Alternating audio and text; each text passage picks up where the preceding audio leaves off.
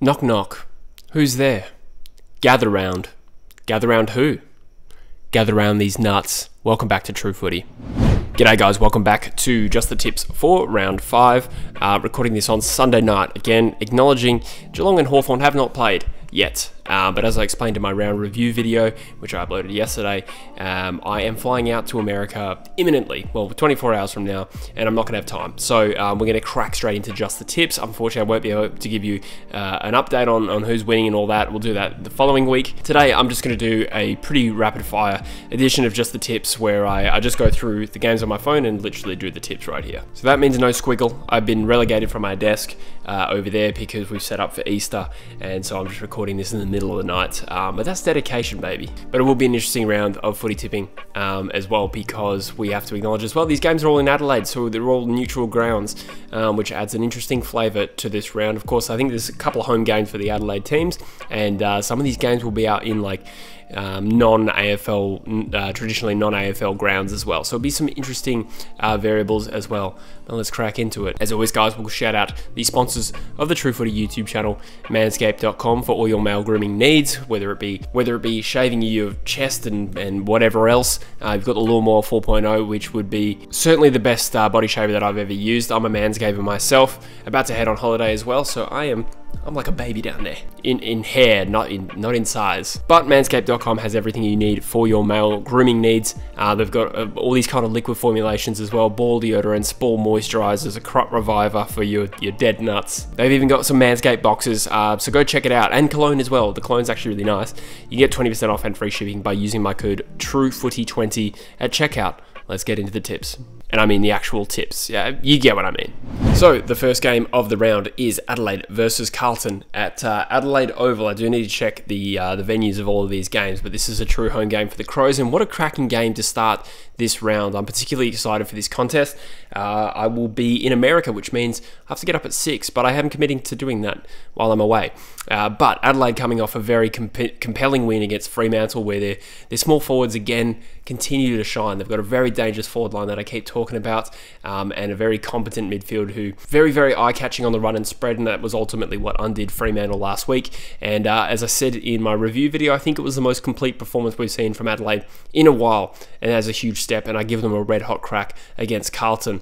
Carlton overcame North Melbourne in a good Good Friday game, good Good Friday game, ultimately getting the job done by four goals in the end, and it was largely off the back of uh, not only their midfield, but in particular their tools as well, with McKay and Curnow continuing to be the difference between teams in close games. Uh, McKay had four goals, 14 marks. He was really, really prominent in the air and uh, really allowed Carlton to move the ball up the field um, by taking some contested grabs. And of course, Curnow kicked six goals, admittedly against an undermanned North Melbourne backline. But again, I don't need to sell you on McKay and Curnow, do I? They're back to back Coleman medalists. So this game is really interesting. If Adelaide continue their form trajectory, they're a red hot chance. And I'm very tempted to tip them in this game. But they're coming up against the Carlton side, who I think at the moment, it has to be said, is considerably better than Fremantle. Um, Fremantle's midfield is good, but their run and spread and their um, ultimately their ability to generate inside 50s and score from them held them back in this game. And I don't think Carlton will have those same issues. And uh, I think Adelaide's Adelaide's defender Nick Murray actually did impress me last week. I thought he played a pretty good game of footy. Um, but will he and Butts be able to cope with uh, McKay and Curnow? I think that will be the difference again. So I'm going to tip the Blues to win this. Um, I'll get it up on here. It will give me a margin as well. I'll say they win a close game by 17 points, but I'm not confident about this. Adelaide have impressed me. Then we've got Fremantle versus the Gold Coast Suns at Norwood Oval. And um, yeah, another tough one. I don't really know what to make about this. Two sides kind of struggling at the moment. Fremantle, as I just talked about, got undone by Adelaide, um, you know, in a game where the run and spread was far superior from Adelaide, beat them on the outside. And then a far more potent uh, forward line was ultimately the difference in getting the margin out to 39 points at the end. Fremantle have issues scoring, um, and on the outside as well, their midfield mix doesn't look great. They're struggling, and this is not an absolute lock away win, which I'm sure their fans are very, very aware of at the moment. And Gold Coast have issues of their own. I think we, we're seeing a distinct lack of progress um, so far this year. It is only early, but um, pretty underwhelming start to the season, getting undone, well, belted actually by the Saints by 53 points last week. And while their midfield is strong, I think it'll be an interesting midfield battle on the inside with um, Fremantle's inside mids like Brayshaw, Serong, and O'Meara winning clearances, Rowell, Anderson, and Miller, very, very good inside midfield. Fremantle, I think, with their smalls, have the capacity to uh, get away from Gold Coast in this game, and they are a better team. But this is not a foregone conclusion. This might be the game Gold Coast sort of break away and show us that potential. I've got a feeling Gold Coast win this game, but I think I'm going to go with a conservative tip, and I'll tip Fremantle to win this, but I think it won't be a foregone conclusion. I think this will be a battle and I'll say Fremantle win by 15 points. Then we've got Richmond versus Sydney, another great clash. We've been blessed to see a number of good clashes uh, so far across the five rounds, but this one I'm really excited about. Where is it? We are seeing this game at Adelaide Oval. Richmond weren't consistent enough against the Western Bulldogs, um, only kicked eight of their 12 goals in one quarter, um, and, and weren't quite there to compete in the wet weather, and to the same extent the Bulldogs were, which ultimately cost them the game last week. And Sydney coming off a loss against Port Adelaide, um, where it's it's hard to fathom how they exactly lost that game, considering the the quality of the Sydney Swans lineup. They lost two in a row now.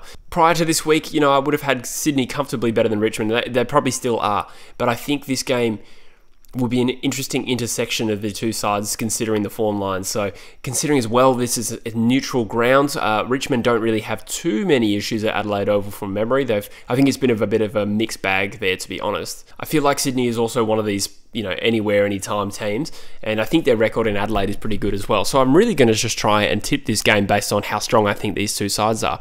And while I expect both sides to play in finals, and despite Sydney's poor form the last couple of weeks, getting uh, smashed by Melbourne and then losing at home to Port. I think they're the better side, and therefore I will tip them in this game. It's certainly not a foregone conclusion. I'm probably about 60% confident, maybe 55% confident, but I think Sydney are the better side, and I think I'm going to tip them on that basis. Richmond haven't wowed me yet. They've just been about as good as you expect, and I think Sydney have a bit more capability. So, Sydney to win this game by four goals. Then we've got the Brisbane Lions and North Melbourne up at the. Uh, no, I was going to assume it was the Gabba. Is Adelaide Hills, wherever the hell that is? Um, yeah, so Brisbane, you know, got their season back on track with a uh, another good performance against Collingwood, uh, first team to beat them this year. And their two wins at home have been great, where they've beaten Melbourne, they've beaten Collingwood. So we know that you know the, the capacity for, of Brisbane is still there, like their ability to win games. I got to stop saying capacity. Somebody pick me up for that. But their top level brand of football has been very good. We just haven't seen it away from the Gabba yet this year. And we know that North Melbourne are a plucky side. This will certainly not be an easy game. I think it would be much easier to tip if it was the Gabba uh, because Brisbane's form line there has been so strong. So that's that's a bit of a variable here. North Melbourne, uh, I think, took it up to Carlton for, for most of the game, although you have to concede that Carlton are just a better side. And uh, the margin, margin got out to 48 points in that last quarter before they pegged it back to four goals. I don't know anything about this venue in terms of dimensions and, and who that's likely to suit, but I think based on Brisbane's really convincing performance against Collingwood and uh, and even Melbourne before that, and then you also factor in the Dogs loss. The Dogs are looking a little bit better as well. I think I'm going to go conservatively here, and I, Brisbane should win this game. It would be a big boil over if North win this, and be quite concerning for Brisbane in terms of their up and down uh, form if they did drop this game. So I think Brisbane win this game, and I'll tip them by a healthy six goals. Then at Adelaide Oval, we've got Essendon versus Melbourne. Um, this will be an interesting game. Essendon uh, done most things right this year. They've beaten the two expansion sides. They beat Hawthorn, the games you'd expect them to win.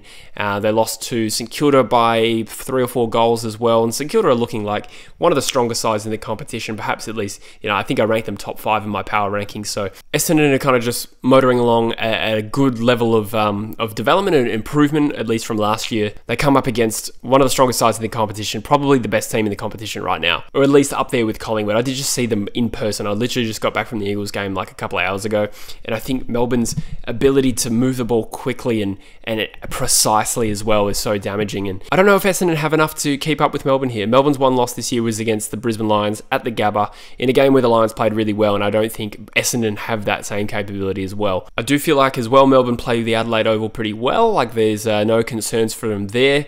I'd be shocked if they lose this. This would be a big boil over. With all due respect to Essendon, Melbourne are one of the best sides in the competition. They should win this game. It could be as much as 40 points. I'll say Melbourne by 40. Then you have one of the more interesting clashes of this round, again at Adelaide Oval. Port Adelaide hosting the Western Bulldogs. Two sides trying to keep their season alive. Both teams that I thought should be in the mix for finals.